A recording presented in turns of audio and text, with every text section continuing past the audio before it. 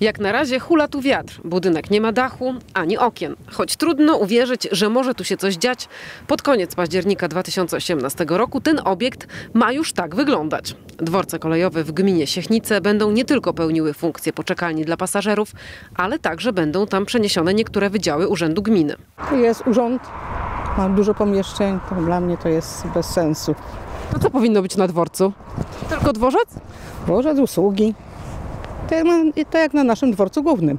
Przyniesie to na pewno jakieś dodatkowe pieniądze dla dworca, wynajmowanie. No remont absolutnie.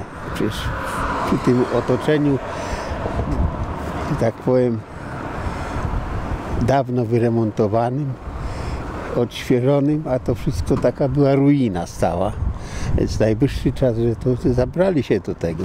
W budynku dworca w Świętej Katarzynie znajdzie się Gminne Centrum Monitoringu, publiczne archiwum Związku Międzygminnego Ślęza-Oława oraz siedziba Straży Miejskiej. Na dworzec w Siechnicach przeniesie się natomiast poradnia pedagogiczna oraz wydziały finansowo-księgowe i edukacji.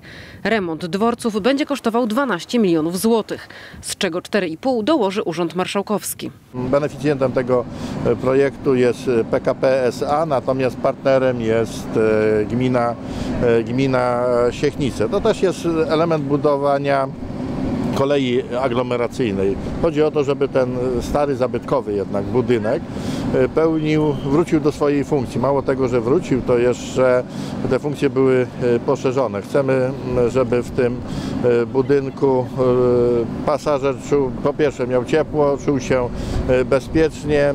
Będzie również ułatwienia dla osób niepełnosprawnych, jak również dla matek z dzieckiem. Te dworce to obiekty zabytkowe, dlatego też zaplanowano modernizację części zewnętrznych budynków, między innymi odtworzenie oryginalnego wystroju elewacji.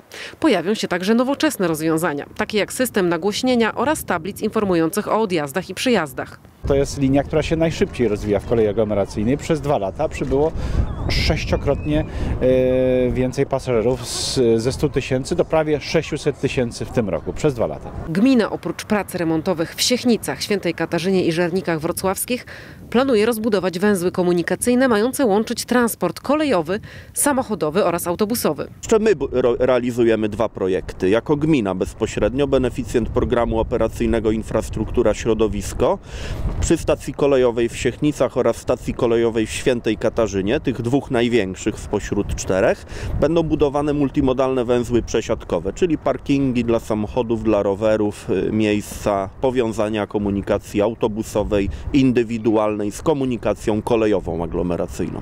Ta inwestycja ma zostać zrealizowana jesienią 2019 roku. Dla Echo 24 Monika Suder.